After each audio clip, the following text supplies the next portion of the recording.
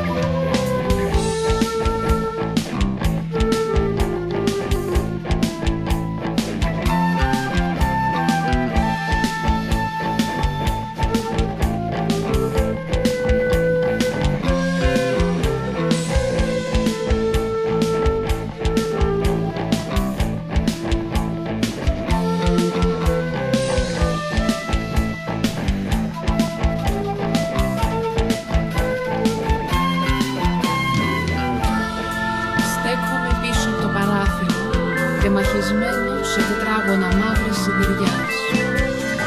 Ο άνεμος φυσά και από μακριά μια πράσινη μάζα αναδύεται συλλαγής σε κύματα κίνησης πλατιάς. Φύλλα ζωής ασύλληπτα και ανάμεσα από τα τετράγωνα, κάπου ψηλά, η επιφάνεια του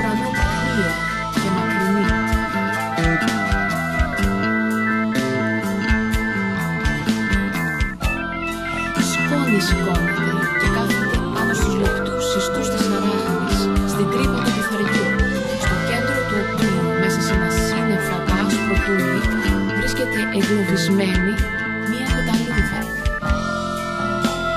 Μια μικρή πεταλούδα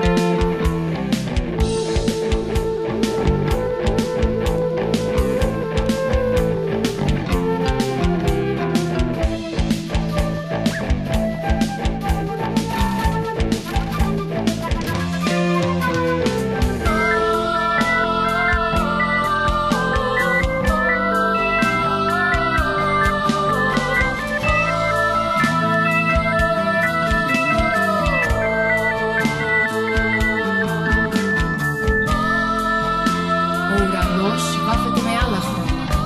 Τα λίγα σύννεφά του τον αποχαιρετούν.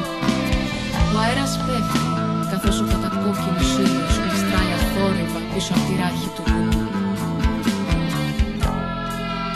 Η νύχτα πλησιάζει σαν μια σκοτεινή πριγκίπισσα που την ακολουθεί το πριγκυπόπουλό της, το φεγγάρι. Όλα είναι καλυμμένα από το μαύρο ουρανό, εκτός από μια σημαίνια λάμψη στην επιφάνεια της λίμνης. Ο χρόνος κυλά σιωπηλά. Ο χρόνος κυλά σιωπηλά. Μα σαν το φως του ήλιου ξεπροβάλλει, οι ακτίνες του τραβούν το σεντόνι της σκιάς.